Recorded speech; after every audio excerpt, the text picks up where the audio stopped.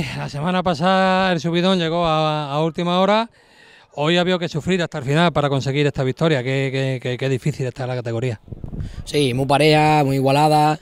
La verdad que yo creo que hemos perdonado muchísimo y al final, bueno, casi, casi lo pagamos, ¿no? Porque nos han encerrado con balones directos y, el equipo por final ha sufrido mucho y para llevar esta victoria, pues mira, hemos tenido que, rezar un poquito al final.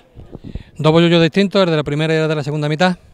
Sí, eh, no porque quisiéramos hacerlo así, sino porque al final el rival poco cuenta también y ellos han jugado mucho más directo, nos han encerrado poquito a poco con esos balones atrás y, quiera que no el miedo de que entre de que entre el empate pues estaba ahí y bueno, nosotros hemos intentado que a la contra un poco para hacerle peligro, pero bueno, la segunda parte la verdad que no ha sido no ha sido buena por nuestra parte, pero bueno, así la primera sí, creo que corto el himno con 1-0, con el penalti, con dos acciones más que tuvimos es clara para vernos irnos al, descanso con un marcado más, más abultado, pero bueno, fuimos con 1-0 y sabíamos que, la segunda parte pues Jerez iba, iba a apretar porque no se iba a ir aquí de vacío o no quería irse de vacío y bueno, así ha sido, ¿no?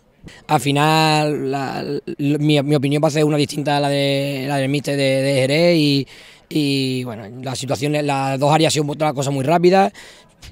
He visto el penalti que nos ha pitado a nosotros un poco dudoso, la verdad, y el de que ellos reclaman, para mí no es, evidentemente para ellos sí, y bueno, después tú sacarás la repetición, pondrá penalti, posible penalti dudoso y, ya está. Bueno, eh, siete puntitos, que eso no los quita nadie. Y, la semana que viene viene un, bueno, viene un coco. Vais a casa de un coco, ni más ni menos que el Coria, un equipo de, otra categoría que muchos de tus compañeros pues nos han dicho que, que es el equipo a batir esta temporada. Sí, por jugadores, por nombre, por institución, por, por querer salir de aquí pronto de esta categoría. El Coria creo que, puede ser el equipo a batir, el equipo favorito de, esta categoría. Y para mí sí lo es. Yo lo he visto bastante, eh, me gusta muchísimo, tiene, tiene mucha diversidad en su juego. Encima, eh, ir a visitar ese campo tan grande con césped natural ya te hace el partido complicado en sí. Pero bueno, eh, nosotros ahora mismo vamos bien, 7 de 12. El año pasado íbamos 0 de 12. La verdad que cambia mucho la cosa.